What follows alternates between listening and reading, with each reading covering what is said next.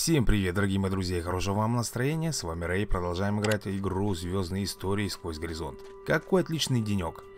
Судя по наблюдениям Верданы, ты достиг подземного прохода. У тебя было мало времени, и местные песчаные креветки и зомбетки уже, вероятно, унюхали тебя. Просканировать зону впереди на предмет опасностей. Давайте так и сделаем. Ты потратил некоторое время для того, чтобы настроить сканер, но не нашел ничего в итоге впереди. Пока ты возился, одна из креветок нашла тебя. Ну что же, она сама напросилась. Поэтому давайте по-варенькому ее разберем. Ну что же, коррозийный фазер? Нет. Малый бластер, я думаю, будет самое то. Ах ты мелкая. Хорошо, получи еще разок. Ну что же, победа за нами. Ты хоть что-нибудь оставишь после себя, а, креветка? Лом. Пещера была тихой и прохладной. Ты мог видеть выход вдалеке. Замечательно. Мусор был разбросан по пещере. Издали послышались выстрелы бластеров и крики. «Слева обходи! Да, слева, идиот! Это там! Где у тебя левая рука? Ну ты дуби!» Голос умолк, но выстрелы не стихли. Снейкап и подготовить белый флаг. Ммм, нет, я думаю Up сделаем. В нескольких метрах от вас двое рейдеров сражались против боевого робота. Дроид выглядел старым, но это не мешало ему сдерживать соперников. Кроме того, один из бандитов уже был серьезно ранен. Ну что же, давайте атаковать, наверное, бандитов. Погоди, погоди, ты уверен? Ты резко обернулся на звук, приготовившись обороняться, и увидел голограмму. «Меня зовут Весельчак Пит, и я бы остерегался того робота». Игнорировать его и продолжить атаку бандитов. Прислушаться к нему и атаковать бота. Нет, давайте первое возьмем. Ага, ну что же. Бандит. Ну-ка, давайте, наверное, энергетической дубинкой его разочек. Нет, подождите. Корзинная граната. Я даже не знаю, что против них. А вот, дымовую. Она, по крайней мере, делает стан. А теперь дубиночкой. Фигово как-то, ребят, получается-то у нас здесь. Готов. Огурец. Уносите, кто там следующий. Продолжаем путешествие. Нет, зачем? Почему ты помог этой машине убийства? Он же держит меня тут уже 114 лет. Убей его, и я стану твоим верным помощником. Весельчак Пит выглядел обезумевшим от горя. Бот отвернулся и побрел дальше по пещере. Давайте, наверное, игнорировать его вопли и последовать за ботом. Зачем же нам его атаковать, если мы его сейчас только что защищали? Робот обернулся в вашу сторону. «Приветствую, человек. Не слушай ИИ. Он опасный вирус, который был создан для того, чтобы захватить тела аугментированных людей и убивать их. Вердана? Это правда? Кто ты и что ты делаешь? Давайте второе тогда с вами выберем. Я страж, охраняя искусственный интеллект, созданную из воспоминаний опасного преступника Весельчака Пита. Он виновен в гибели миллионов людей, кроме того, искусственный интеллект разработан на базе вируса, поэтому он может взламывать всевозможные системы и брать их под свой контроль. Я знал, что ему нельзя доверять. Мы существуем вместе уже больше сотни лет. Искусственный интеллект хранится в моем главном чипе, но моя система спроектирована так, что он не может ее контролировать. Сделай мне одолжение, уничтожь Пита. Возможно, для этого придется активировать мою функцию самоуничтожения. Я не могу сам этого сделать. Так, знаете что возьмем? У меня есть идея получше. Искусственный интеллект бота-охранника. Сознание робота, который исправно нес свою службу на протяжении сотни лет. Взять. Удалось! Вы загрузили данные из чипа дроида. Искусственный интеллект робота теперь у вас. Осознание весельчака отформатировано. Возможно, когда-то вы сможете найти новое тело для дроида-стража, который верно нес свою службу больше столетия. Покинуть пещеру. Так, и куда же мы направляемся? Ты наткнулся на кучу ржавого мусора. Исследовать, конечно же. лом получили. Ну что же, лом тоже пригодится. Чем ближе ты подбирался к выходу, тем сильнее было твое ощущение, что с той стороны что-то угрожает. Ну и что же там может нам угрожать? Ты поднялся наверх из пещеры и обнаружил себя посреди темного куска земли. Твой путь лежал вперед, ты не хотел надолго задерживаться тут. Что это за место, Вердана?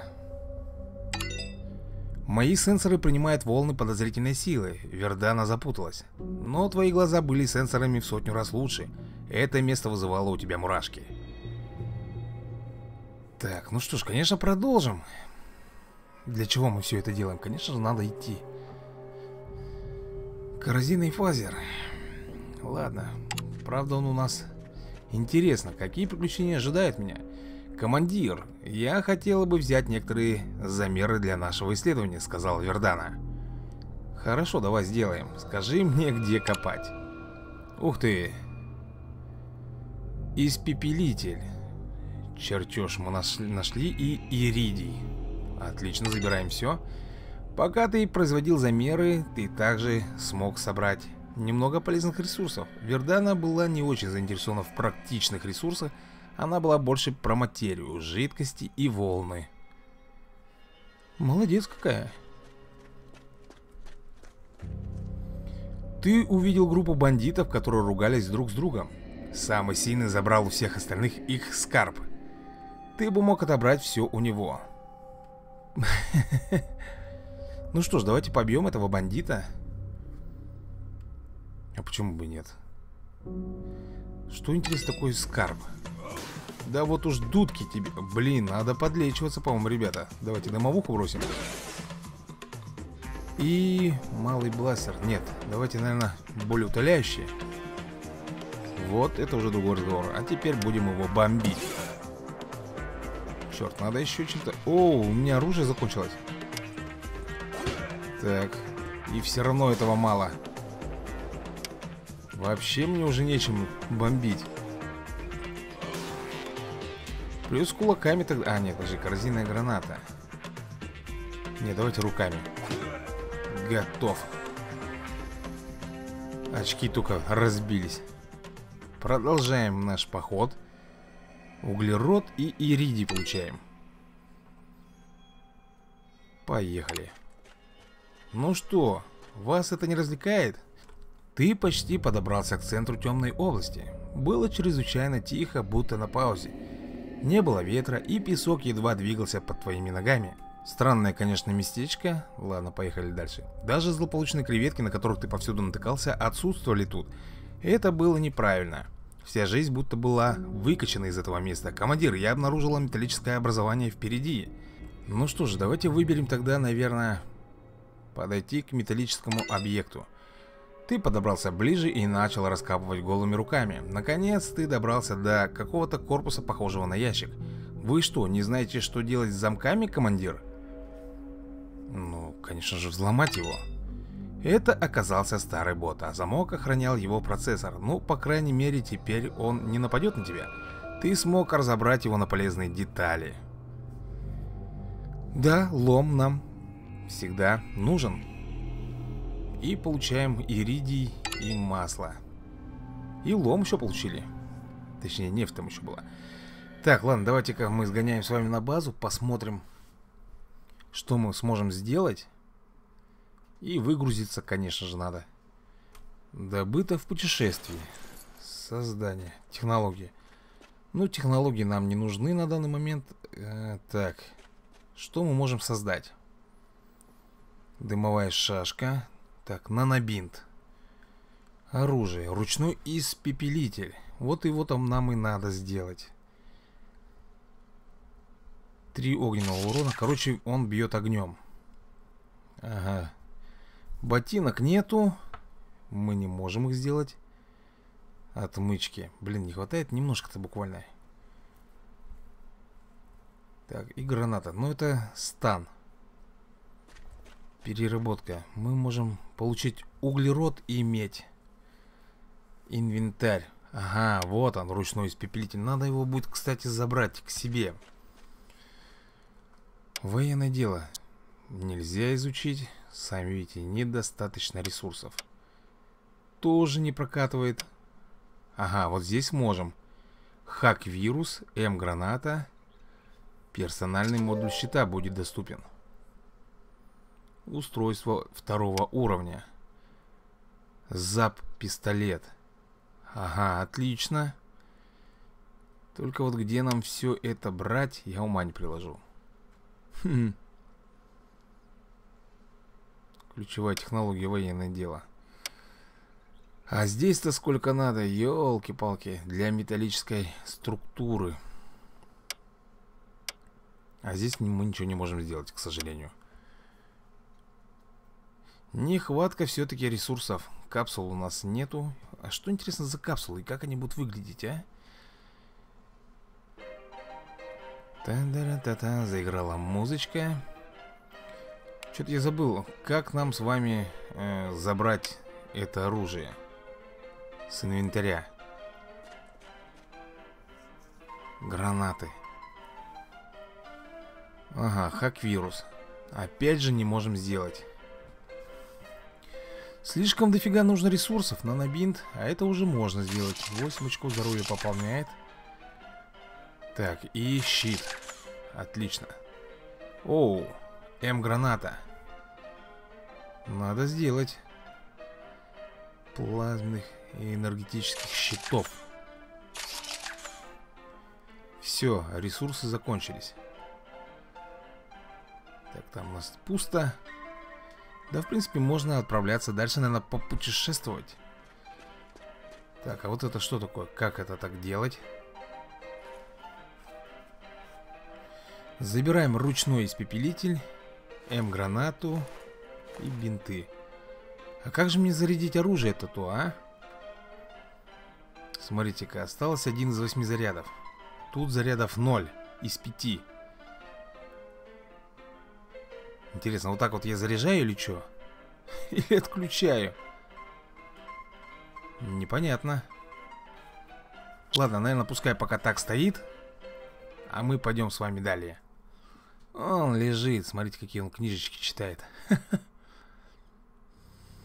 Продолжить путешествие. Какой отличный денек. Внезапно ты услышал щелчок. Похоже, ты активировал ловушку. Решетки вырвались из-под земли и соединились в клетку вокруг тебя. Найти выход, конечно же. Ты поковырялся с замком и нашел способ дезактивировать ловушку. Решетки раскрылись, и ты смог выбраться. Ты забрал обломки механизма себе. Пора бы сматываться, чтобы не попасться в лапы к владельцам ловушки. Я с тобой полностью согласен. Мы еще получили лом и сырую нефть. Что это за портал такой? Похоже на то. Вердана была очень воодушевлена. Эти обелиски обладают очень удивительным нуль-полем. Большие камни выглядывали из-под земли, собранные в круг, будто это какой-то монумент каменного века. Слушай, а почему бы и нет? Вполне возможно. Еще один камень был в середине этого круга. Он был покрыт рунами, которые ты не смог разобрать. Ты осмотрел камень в центре, все руны были овальной формы, только слегка изогнутые, совсем слегка. И один из этих кругов выглядел так, будто его можно было вытащить. Ты вытащил свой карманный ионовый нож и попробовал осторожно подцепить его. Осторожно обработать края камня и вытолкнуть его. Я думаю, что мы с вами выберем второй ответ. Получили углерод. В итоге у тебя получилось, и кругловатый камень упал тебе в руки. Ты также понял, как удалить руны с обелиска ради ресурсов. В тот же момент ты почувствовал легкий бриз, будто на секунду все вокруг ожило. Камень казался теплым, его было приятно держать, убаюкивающее ощущение. Да. Ты развернулся и собрался уже уходить, как вдруг голос раздался у тебя в голове. Ты в курсе той силы, что держишь сейчас в себе? Это был странный голос, слегка мягкий, но при этом извращенный, будто змея пыталась говорить. Ты встал как вкопанный. Теперь... Тебе теперь никто не нужен. Ты нашел меня. Ты можешь подчинить себе все. Вот так вот. Ты вырвался из оцепенения. Ты достаточно начитался сказок в детстве про темные говорящие объекты, которые ты случайно находишь в каком-нибудь темном месте полном хаоса. Черт возьми, ты знал, чем эта сказка закончится, и прислушиваться была бы не лучшая мысль. Или, может, нужно было подумать самому? Слушай, я думаю, что да, что-то тут какой-то заманухой пахнет. Так, едем далее. «Командир, какую удивительную находку вы обнаружили?» Вердана воскликнула. «Не могу дождаться, когда мы запихнем ее под микроскоп. Она может открыть столько секретов». Вердана была очень рада этой добыче. Хм, почему интересно? Это было необычно. Это было просто замечательно, я считаю. И объект, который ты нашел, был довольно необычен сам по себе. Неплохая идея была бы отправиться на свой разбитый корабль и прогнать несколько тестов. У тебя там было некоторое оборудование, не каждый день ты можешь натолкнуться на говорящие артефакты. Ты себя чувствовал охотником на привидений. Нет, я бы, наверное, сказал лучше, охотником на артефакты. Так будет правильнее. С другой стороны, что тебе мешало попробовать поговорить с этим артефактом сейчас? Он же начал с тобой диалог. Это, скорее всего, был какой-то древний искусственный интеллект неизвестной цивилизации. Взять артефакт на свой космический корабль и провести настоящее научное исследование. Подходи поближе, ты знаешь, что ты хочешь. Нет, давайте, наверное, возьмем его на космический корабль и будем делать настоящее исследование. Вердана продолжала болтать про то, как круто будет запихнуть его под плазмолуч и потом облить водой. Ты положил артефакт себе в карман куртки и побрел дальше. Пора было убраться по добру по здорову из этого ужасного места. А что же в нем ужасного-то, а? Вердана определила зону, в которой, вероятнее всего, приземлился корабль. Дорога вела через горы, мимо древнего форта. Часть третья. Рациональный подход. Древнее сооружение возвышалось над тобой. Давайте, наверное, будем исследовать форт. Это было похоже на какое-то древнее военное укрепление. Стены были усыпаны неизвестными метками.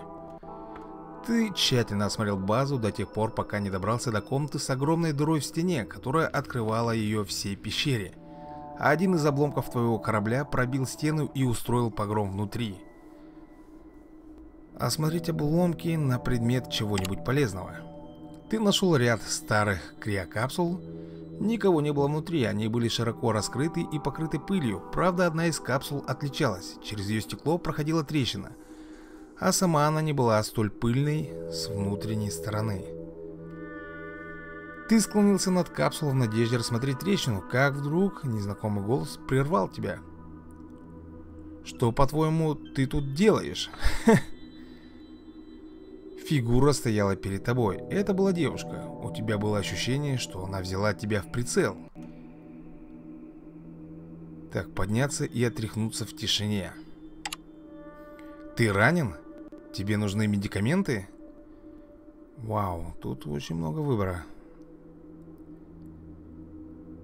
Давайте, наверное, представимся. Не помню, чтоб я спрашивал твое имя. Девушка вскинула свое оружие на плечо и отвернулась. Мы вроде бы хотели выбираться отсюда, только избавь меня от своей болтовни. Точно, я понял, все будет хорошо, давай выбираться. Девушка проигнорировала тебя и начала двигаться вперед. Я осторожно пойду вперед, постарайся не сбиться с пути, она сказала издалека. Ну что же, хорошо, попробуем. Креветка выпрыгнула из-за камней. Так, давайте-ка попробуем убедить ее в том, что ее намерения ложны. Получится, нет? Нет. Креветка ушла в транс и начала обследовать песок под своими ногами. Похоже на то, что ей было все остальное до чертиков. Забрать все, не оставив ничего. Отлично. Довольно даже хорошо. Ух ты, мы тут можем кое-что, смотрите, посмотреть с вами. Огромный форт, возвышающийся среди раскаленной лавы, абсолютно незнакомая архитектура. Ага, и все. Так, а здесь что у нас? Рядом со старым силовым барьером находился контейнер, защищенный паролем. Ах, черт подери, как вируса нету. Блин, ну что за засада? И на базу-то нету смысла возвращаться. Можно было бы сделать, но ресурсов нет. Жду не дождусь, чтобы завести новых друзей. Это была очень странная встреча, похоже, что твоя новая спутница была не из болтливых. С другой стороны, ты не слышал голос артефакта у себя в голове. Это было удачно. Так, продолжаем с вами идти. Опять какие-то тотемы. Ты увидел группу пигмеев, которые о чем-то спорили. Просто выбить из них дух. Давайте, наверное, их подубасим маленько. Ну что, пигмеи, пора за вас браться. Малый бластер, думаю, в помощь. Ох ты. Вот мелкие гаденыши. Давайте-ка дымоуху. Так, стан они получили. Вот так. Давайте-ка вот так пальнем. Все, готовы. Пигмеи сдохли. И мы продолжаем. Пигмеев разбросала по скале. Ты забрал их пожитки и свалил. Всего лишь нефть. Сырая.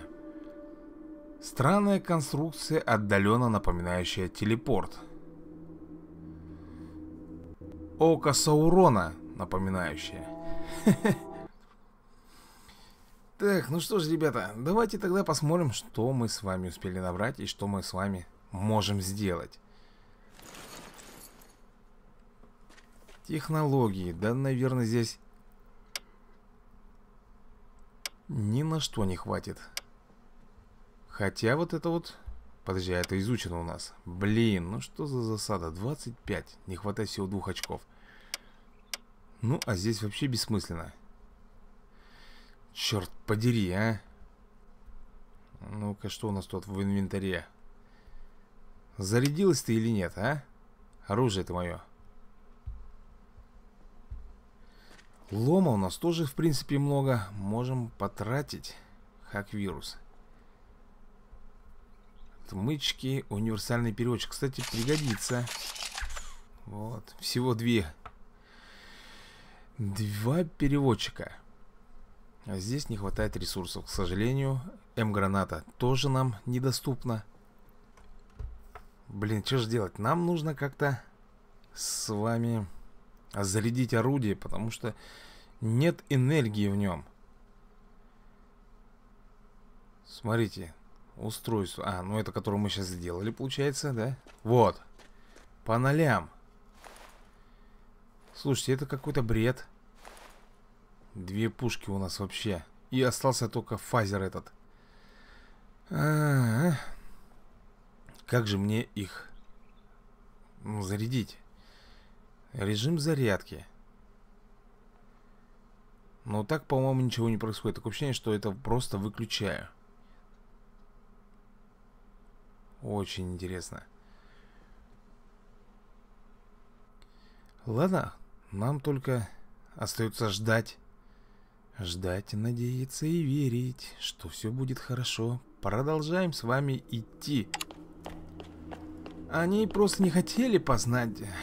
Ты почти достиг противоположную часть пещеры. Дорога вела в руины твоего корабля. Девушка следовала за тобой молчаливо. Ну что, на со мной на корабль идет, что ли, а? Хитренцы, однако. Наконец-то ты нашел свой разбитый корабль. Хорошо, что персональный компьютер Сида имел точные координаты. Это уж точно хорошо. Артефакт снова начал пытаться с тобой поговорить. Но ты продолжал считать креветок для того, чтобы отвлечь тебя от его голосов. Ты уже насчитал 6421 креветку, как попал в свой разбитый корабль. О нет, мой высокочастотный квазичерепной анализатор. Посмотри только, все пропало, Вердана расстроилась. Корабль и вправду был в смятку. Ему не помешал бы капитальный ремонт, если ты хотел улететь на нем куда-нибудь. Но тебе нужно было как-то избавиться от гравитационного подавителя, и этот артефакт мог иметь реальные ответы. Ну ничего себе тут замудрили. Слова-то какие-то. Хрен выговоришь. Ну куда ты пошел, куда? Артефакт все пытался с тобой поговорить, но ты решил, что ты из другого те теста и сопротивлялся. Ха, выкуси, не получишь моего сознания, подумал ты. Что нам сделает этот артефакт, я не знаю. Эй, ты чего тут забыл? И это был не шепот артефакта, это был кто-то. На тот момент сильно более существенный. Это была группа бандитов, самый большой из них – стоял прямо перед тобой. Давайте мы расскажем ему шутку, но это чисто уже по приколу будет. Бандит схватил тебя за куртку и прорычал «Эй, ты думаешь это смешно?» Потом он сделал небольшую паузу и загнулся от смеха. «Я сегодня получил все, что хотел, парни», он сказал своим приспешникам и ушел. Ты оставил двух бандитов без их лидера, и теперь они были довольно озадачены. Что нам теперь делать? Один из них спросил другого. Так, сейчас, ребята, сейчас. Просто стой там и дай им время поразмыслить. Э, креветка. Давайте третье. Повести себя как бандит. Ты разделил взгляды в духе. Я сейчас тебя прихлопну. С бандитами. Похоже, что они тебя зауважали. Пора было уходить. Ну и в чем тут прикол, я так и не понял, а? Я типа напугал взглядом? Ладно, хорошо. Куда-то опять пришли мы с вами. Корабль был чуть ли не полностью уничтожен. Ему нужен был капитальный ремонт, если ты планировал пользоваться им для полетов. Ты попросил Вердану засинхронизировать его ядром. Только так можно было провести опыты над артефактом. Ну, в принципе, да, только вы не забыли, что Вердана-то что-то там психовала. Мои беспроводные модули уничтожены, командир, так что вам придется подключить меня через железо. Я не смогу интерактировать с вами некоторое время, предупредила Вердана. Елки-палки, ну и слова, а?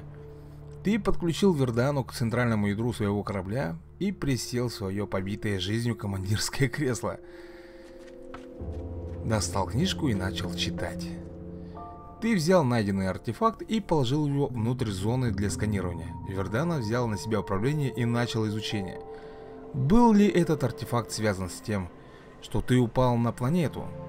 Как ты мог использовать на благо? Почему он, черт возьми, говорит?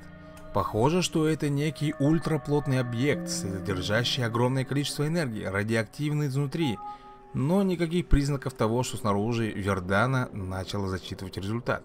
Также я улавливаю некие необычные волны, которые передают информацию. Что за информацию? Похоже на какой-то ключ для дешифровки данных – не воспринимайте за шутку, но мне кажется, что он пытается получить доступ к моим системам. Это очень мощный механизм взлома систем.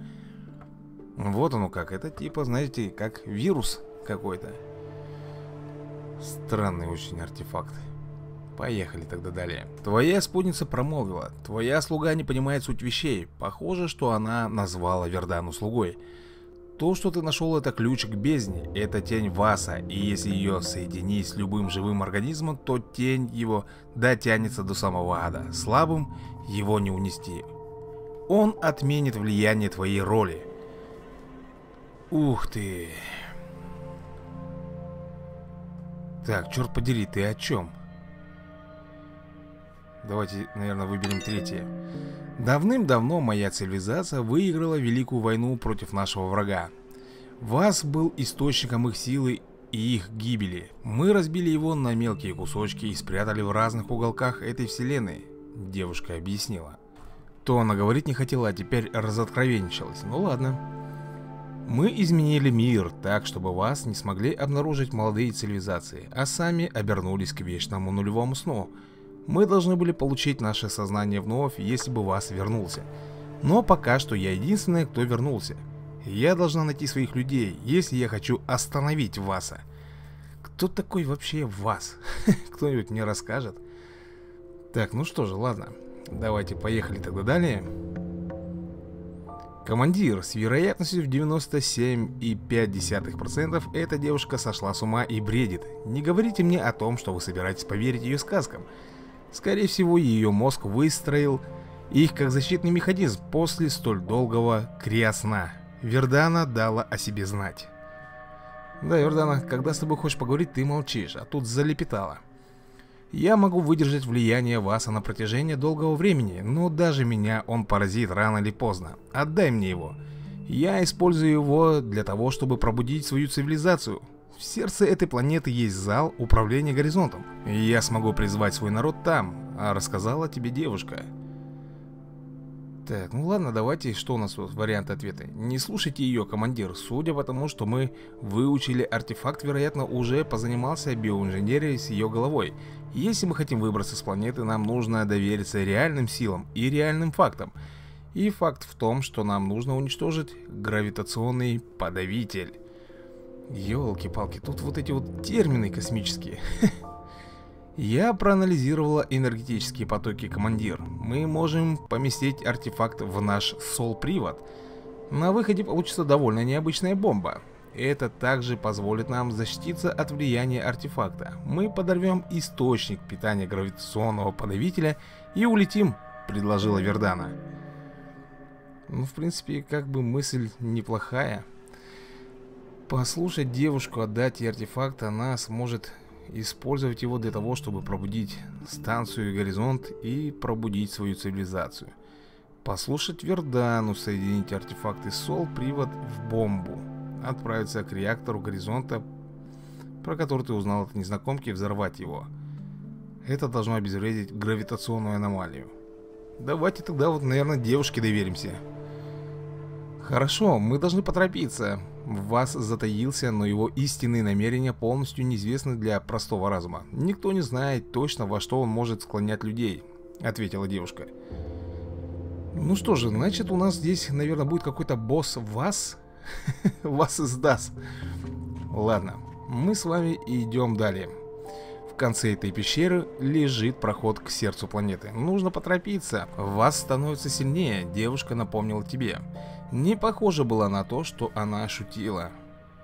Может быть, нам узнать друг друга получше? Слушайте, давайте узнаем, как ее все-таки зовут. Надоело так. Меня зовут Ада. Звали давно, ответила она. Потом она отвернулась. Спасибо за то, что доверяешь мне. А как будто бы у меня был выбор. Нет, конечно, я мог бы тут все взорвать к ядрене фени, но мы посмотрим, что тут будет далее. Часть четвертая тени и звездная пыль. Странное устройство лежало на земле прямо перед вами. От него исходили угрожающие электрические потоки. О, у меня ничего нету, ребята, кроме как убраться по добру, по здорову. Жаль, вообще ничего не взломать, не обезвредить. Группа пигмеев преследует тебя уже какое-то время. Они нагнали тебя. Так, уговорить их и устроить вечеринку. Ну, закинуть вечеринку у тебя не вышло, хотя тебе бы удалось заставить их драться друг с другом. У тебя было время, чтобы смотаться. Да, зашибись, я их заставил драться между собой, вместо того, чтобы устроить вечеринку. Ну что же, давайте тогда с вами вернемся на базу. И надо нам все это разложить дело, что мы с вами насобирали. Сейчас мы глянем, что у нас тут есть вообще, хорошего или плохого. Так, добыто в путешествии Иридий и 90 лома Ну, слушайте, довольно маловато ресурсов. Ну что ж, давайте тогда посмотрим технологии, поди. Но нам надо еще как-то умудриться, смотрите. Так, зарядов до сих пор, походу, нету. А, Ресурсы. Ну, ресурсов хватает. Правда, опять же, не всех. Что будем создавать? Так, погоди-ка Путешествие. Как мне... А, вот. Как мне их зарядить, а, ребята? Я что-то не могу догнать. Сколько уже времени прошло, а как ноль зарядов у них было, так и осталось. Это я забираю с собой, значит не так. М -м, может быть здесь... Чертов разберешь. Ага, вот оно как. Э, ресурс углерод нужен, чтобы, э, чтобы зарядить. Так, ну-ка давайте-ка еще... Да что такое-то? Вот. Тут углерод, а здесь что? И здесь углерод. А у нас, походу, нет этого ресурса, поэтому зарядить мы не можем. Но ручной испепелитель на полную катушку. Также, кстати, энергетическая дубинка за счет железа восполняется. Все, будем знать это на будущее. Ну а на этой ноте я буду завершать свой выпуск. Всем спасибо за просмотр и увидимся с вами в следующей серии. Всем пока.